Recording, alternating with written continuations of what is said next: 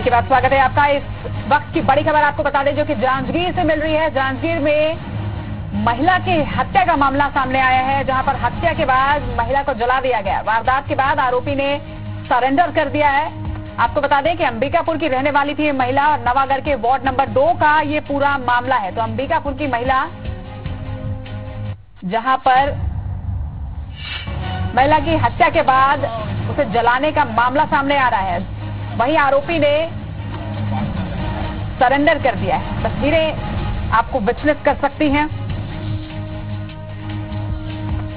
ज़्यादा जानकारी के साथ राजकुमार हमारे साथ जुड़ रहे हैं। राजकुमार, महिला की हत्या के बाद उसे जलाया गया और आरोपी ने खुद सरेंडर कर दिया है। क्या कुछ ये पूरा मामला है? क्या कुछ जानकारी है आपके पास?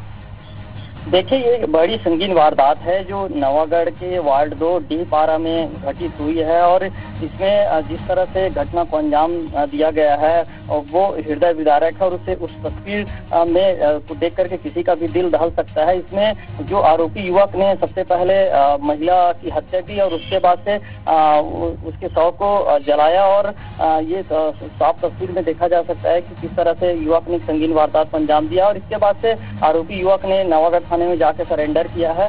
इसमें ये जानकारी आई है कि ये जो मृतका महिला है, ये अंबिकापुर की रहने वाली है।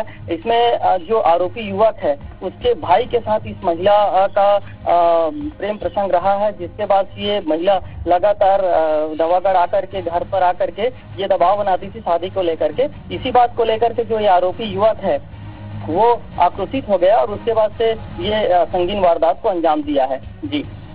चलिए तमाम जानकारी के लिए आपका शुक्रिया।